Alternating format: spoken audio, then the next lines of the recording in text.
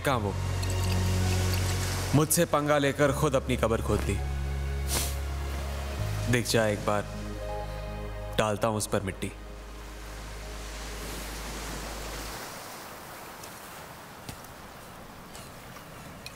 तुम बीच पर आई और समंदर लो टाइट पे आ गया। जब ये लहरें फिर से उठेंगी ना तो सबसे पहले तुम ही डूबोगे।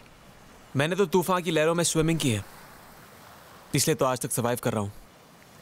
लेकिन तुम? तुम तो वापस उसी रोड पे आ गए जहाँ से स्टार्ट किया था। तुम भी तो आ गए मेरे पास। मेरे बिना रह नहीं सकते ना? सबसे बड़े फ़ैन हो।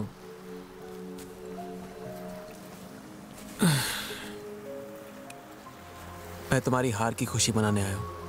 क्यों? अपनी जीत की खुशी मनाने वाला कोई मिला नहीं?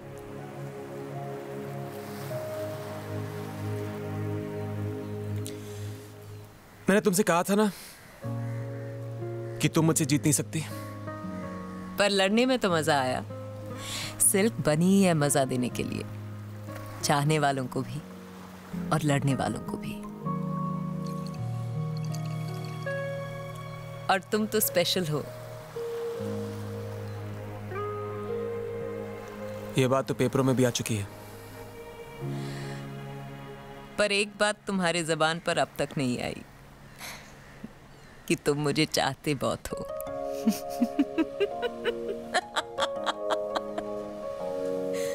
फ्लॉप एक्ट्रेस हीरो के स्टाइल में डायलॉग बोल के निकल गई।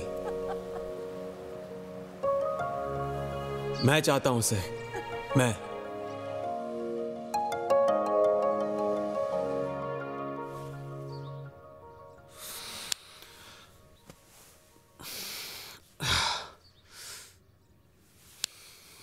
मुरली। मुरली। आया सर। एक ग्लास कॉफ़ी लेके आ। और सर उन दो लेडीज़ को बियर और टकीला सक्सेस के बाद एनर्जी आई जाती है मुरली। दो दो लड़कियाँ। हाँ जी ऐसी कोई बात नहीं है। एक कल आप लेकर आए थे और दूसरी कैमरा लेकर आकर बाहर।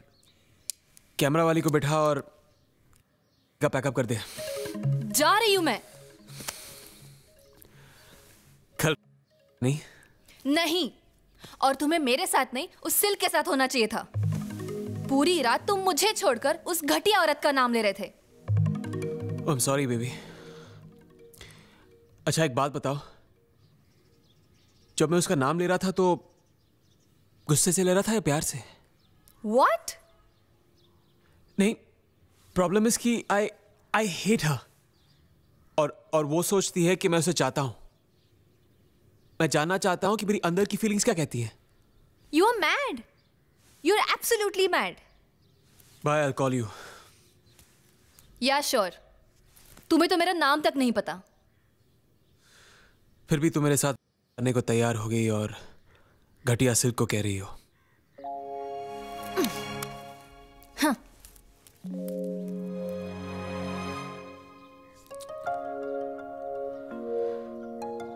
ये मेरे साथ कौन सी शेक्सपियरियन ट्रेजेडी हो गई सिल्क तुमसे लड़ते लड़ते तुम्हारे लिए लड़ने लग गया मैं।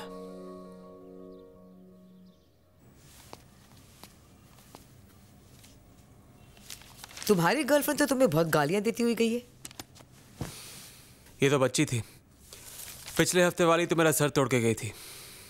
तब तुम कुछ नहीं थे। अब हो। अगले हफ़्ते फिर कुछ नहीं रहूँगा। मैं कोई फ़िल्म नहीं हूँ जो हर हफ़्ते बदल जाऊँगा। तुमने मुझे किसी की याद दिला दी।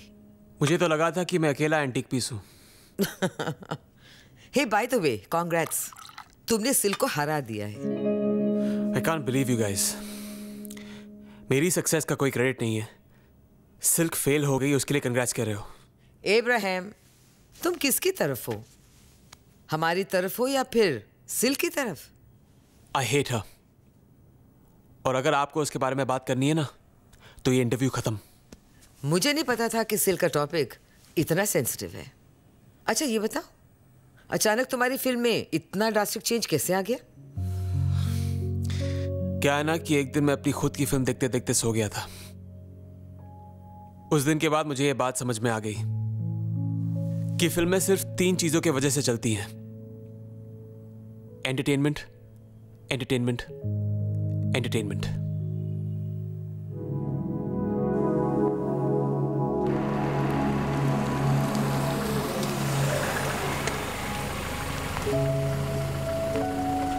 hello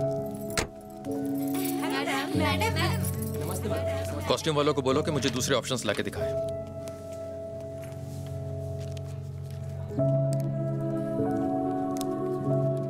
सिल्क किसी खास काम से आई हो? नशा करने आई हूँ सर। फ़िल्मों में काम करना मेरा सबसे बड़ा नशा है। सिल्क तुम तो जानती हो। मैं ही क्या? कोई भी तुम्हें काम नहीं देगा। हाँ अगर कुछ पैसे चाहिए हो तो बोलो। पाँच रुपए हैं। पाँच रुपए? शुरू शुरू में मुझसे किसी ने कहा था कि मुझे फ़िल्मों में कोई काम नहीं देगा।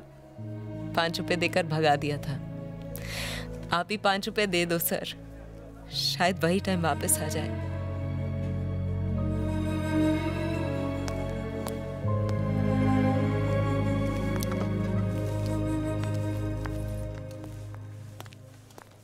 मैं वो डॉगी बन गया था जो सिल्क को काटने के बाद खुद पागल हो गया था। मैंने कभी किसी को इतना क्लोज फ्रेंड नहीं बनाया जितनी क्लोज वो दुश्मनी की वजह से आ गई थी। क्यों गया था मैं उसके पीछे? कंपनी चाहिए थी। दोस्त नहीं मिला तो दुश्मनी सही।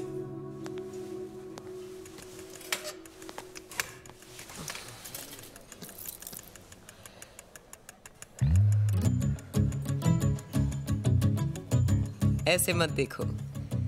लगता है मैरिनेटेड मुर्गी को तंदूर देख रहा है। कम से कम अपनी कहावत में तो खुद को रिस्पेक्ट देना सीखो। तुम यहाँ क्या करने आए हो? दोस्त नहीं तो दुश्मन ही सही हाँ? तुम्हारी जो इतनी बजाई है देखने आया था कि सिल्क पे कितनी सिलवटें पड़ी हैं। कॉफ़ी पी लो पैसे मैं दे दूँगा। दो सिल्क कॉफीज लाना। यहाँ मेरे नाम की कॉफ़ी फ़ेमस है। पी लो। हैंगओवर के लिए बेस्ट है you you'll burn in hell और तुम? तुम तो उसे भी बॉनफायर समझ के हाथ सेकने आ जाओगे।